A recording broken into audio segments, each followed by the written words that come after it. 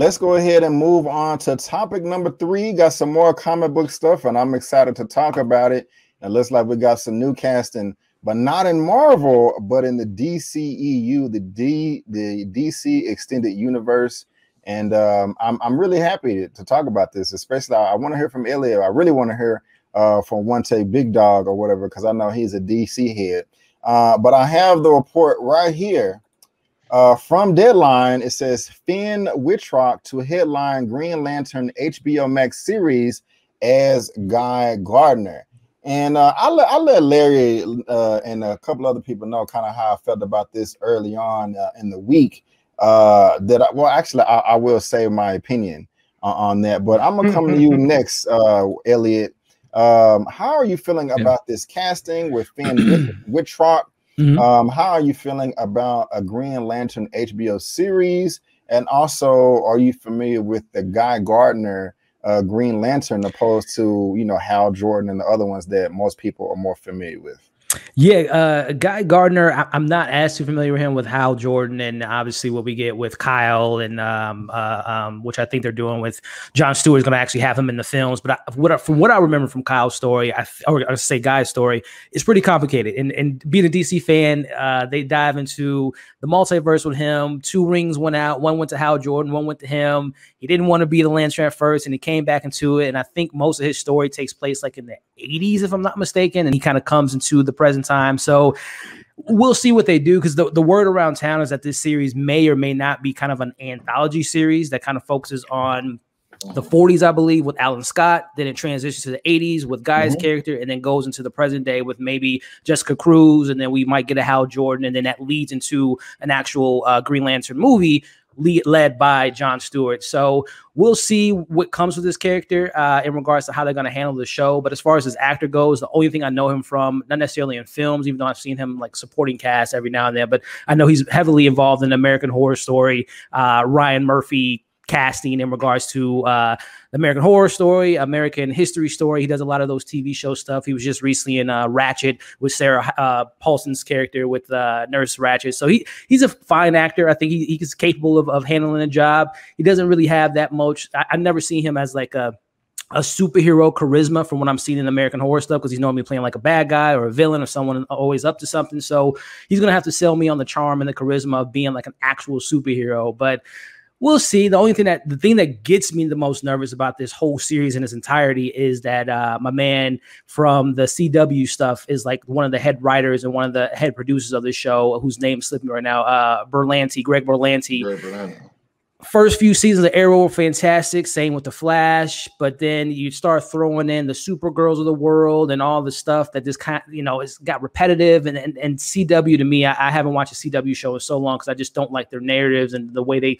the acting and the stories and all that. So that gets me a little bit nervous. But hopefully, this isn't CW. This is HBO Max, higher budget, maybe a little bit more mature stuff that they can bring into the show. So uh, fingers crossed, man, because I've been waiting for a good Green Lantern interpretation because Ryan Reynolds uh, 10 years ago was not it for me. And, uh, you know, we were kind of cut short with an appearance from a, a Lantern from uh, Zack Snyder Snyderverse. But fingers crossed, man. Fingers crossed. Right on, right on. Before I come to you one take, big dog, I just want to go through this.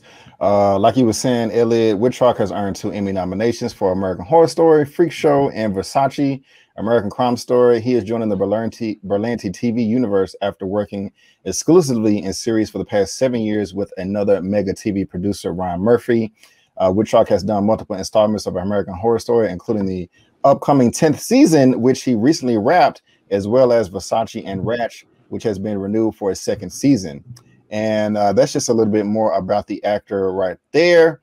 But coming to you one day, Big Dog, how are you feeling about the casting? How are you feeling about the HBO Max series for uh, Green Lantern Corps and uh, just also Guy Gardner? Uh, um, you know, they're, they're, this is the first casting we've gotten for Green Lantern. How, how are you feeling about just you know Guy Gardner? Yeah, Guy Gardner as well.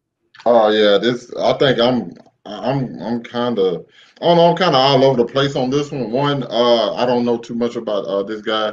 As an actor. I've seen like his filmography and stuff, and I've seen I know I've seen quite a few movies that he and TV shows that he's been in, but I just don't necessarily like I don't remember him necessarily sticking out to me. And that's kind of what like Guy Gardner did. Like Guy Gardner is a character like that sticks out, and for a lot of like DC fans, like it's either hit or miss. Like they either love him or they just absolutely hate him. So I don't necessarily know how they're gonna like pull that whole that whole thing off with him. And and the, I, I'm kind of where like Elliot I get the whole uh, Greg Berlanti and the Arrowverse stuff, and, and I, I, I get like the words there because like they're I, I, mean I me personally I absolutely love those shows. I love what they're doing with like Superman and Lois. Like I said, the first few seasons of Flash, Arrow. But I'm kind of looking this on in the realm of kind of sort of what they did with like DC Universe and uh, and I'm hoping they take that route, like what they did with like Swamp Thing, uh, Doom Patrol, and Stargirl. Not necessarily Tights because I kind of feel like they that they missed a lot on Tights, but for those other three shows, I like the maturity that they had, and I like the stories that they told within all three of those because those three are like probably some of the best DC live action shows in my opinion. So mm-hmm. if they can get if they there's so much you can do with like the Green Lantern story. Mm-hmm on HBO, especially on HBO, I just kind of feel I just don't want them to try to go like too over the top, too early, and and and kind of like blow it. Because if if I, I, I honestly feel like if you go too over the top early on with this and you don't nail this character the right way, it's gonna completely shut everything off from anything else people want to see done with like Green Lantern. And I also hope they don't do like a, a CGI type suit. I need like actual like suit you know, and just like maybe like have it shine or something, but no no CGI suits. Yeah, uh let me and let me jump in here. This right here says uh see I can highlight now. Written by Greg Berlanti and Marc Guggenheim and Seth Grahame-Smith, Green Lantern reinvents the classic DC property through a story spanning decades and galaxies, beginning on Earth in 1941 with the very first Green Lantern, secretly gay FBI agent Alan Scott, in 1984 with cocky alpha male Guy Gardner and half alien Bree uh, Jarta. They will be joined by a multitude of other lanterns from comic book favorites never before seen heroes. Now, just real quick about how like I, I love the Green Lantern. Well, I ain't read the comics, but just that the the story and the lore of Green Lantern, I think that's cool as hell. Um, however, I'm not excited about this because I have never been a fan of Guy Gardner. I don't know much about him, but the little bit that I do know, I've never liked him. He's always been kind of a dick character. Mm-hmm. and so, if you know the lore of Green Lantern, those are supposed to be good people that get the the power the ring or whatever you know what i'm saying john stewart hal jordan those are good people they are worthy it's kind of like how you know more near Mjolnir works in marvel mm-hmm. like are you worthy or not but you know, kind of in the same vein. So I just never understood like how he got the ring, the power ring, if he was if he was a dick or something like that. Now, I think I remember somebody explaining it to me a number of years ago, like he kind of stole it from somebody, and it, yeah, it just yeah. Uh, okay, well that, that makes more sense. I, I didn't want to come to the conclusions. I'm like, how did he get it in the first place? And so, um, I if if if it was up to me, I would have Green Lantern movies to focus mainly on like Hal Jordan, John Stewart,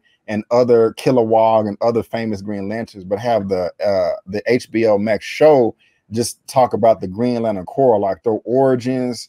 You know, back on uh, was it Planet Oa, I think, and um, you know, all, like like Green Lantern Emerald Knights. I don't know if any of y'all have seen that, but that yeah. is a, a, number of stories that goes back from decades and thousands, and hundreds of years and stuff like that. Mm-hmm. Uh, but coming to you, Larry, man, do you are you a fan of Finn Wittrock, or are you excited about the Green Lantern HBO Max show?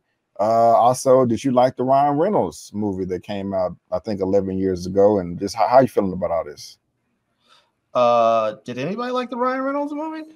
I just wanted to, Ryan Reynolds didn't even like that movie. hey, you, you like you like Cole Young, so I, I wanted to. Uh, I just I, I, had to make sure, you know. I, I, wanted to. I want. I don't want to assume. Cole Young know. is the bomb. No, he's not. He's not. He's Cole Young is the is, is is perfect for this generation. He's great as a he's great to have basically an on-screen narrator. He's he's he's allowing us to go into that world through his eyes. But no, I did not like the, the Ryan Reynolds one.